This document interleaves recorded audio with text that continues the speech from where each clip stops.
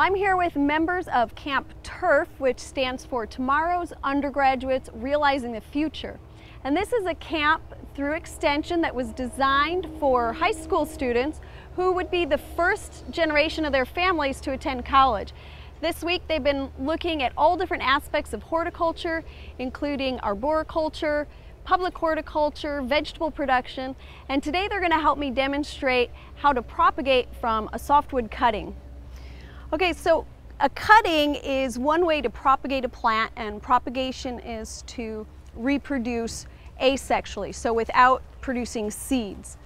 And there's different ways to take cuttings. Uh, we could take cuttings from the woody tissue of the stem, which is older, and this is called a hardwood cutting.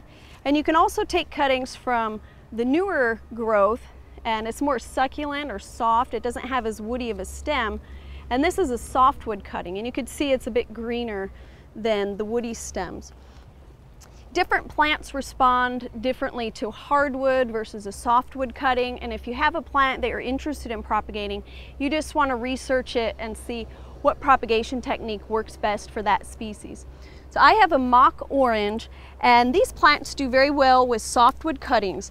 So I'm going to cut uh, one of the succulent green tips, and here's a nice piece here.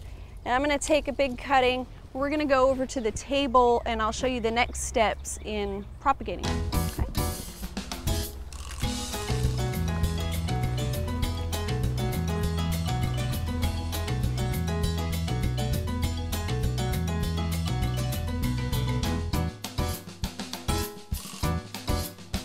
Hello, my name's Corey Gilmore. My name is Jade Mitchell. My name is Julio Nevares. Hello, my name is Brooke Murray. Hey, I'm Dalton Porter. Hello, my name is Cody Stidham. Hello, I'm Justin. Hi, my name is Dalton Scaff. Hi, my name is Amy. Hi, I'm Michaela Nicole Jackson. Hello, my name is Cami Seguru. Hi, my name is Ryan Seaman. Hi, my name is JC. Hello, my name is Naila Brandywine. Brianna Harrison. Hi, my name is Cassie, and today I'm going to teach you how to propagate. My name is Pebbles, and I'm going to teach you how to propagate. Hi, my name is Gretchen Moore. I'm going to show you how to propagate. First, you want to take your clipping you take your clipping. Any tree. I chose a crepe myrtle. And what we're going to do is you're going to cut from six to eight inches from the end of the plant. And you're going to peel off the bottom leaves. If there's any lower leaves, you strip those off. You can have a nice clean stem. Yeah, take them off. Slow them down.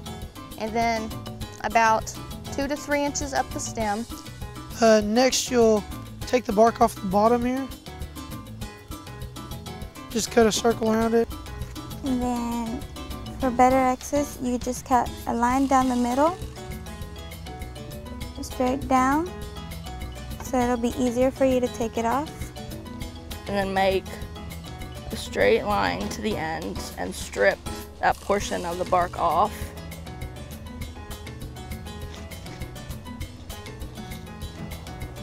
Make it nice and pretty and bald. So you have your soft, tender, exposed layer right here. And so next, we're gonna dip it in hormone powder. I mean, like in the wild, it does it naturally, but this kind of gives it like the added punch, you know? Mm. Then you stick it in the soil. Next, you will put it in your pot, which is already pre-watered. We're gonna stick it right here next to this stick so it can grow nice and straight up. Right after that, we cover with a plastic bag so it doesn't dry out. I know it's crazy, but it keeps the moisture inside. Because they don't have roots, so they don't get that moisture from the roots. And in about four to six weeks, it should have roots. Kind of put that up under there like that. Take your water, and you mist it periodically. And that's how you propagate. And that's how you propagate. And that's how you propagate. There you go. And that's how you propagate. And that's how you propagate. And in about three weeks, your plants will have roots. And that's how you propagate. And that's how you propagate.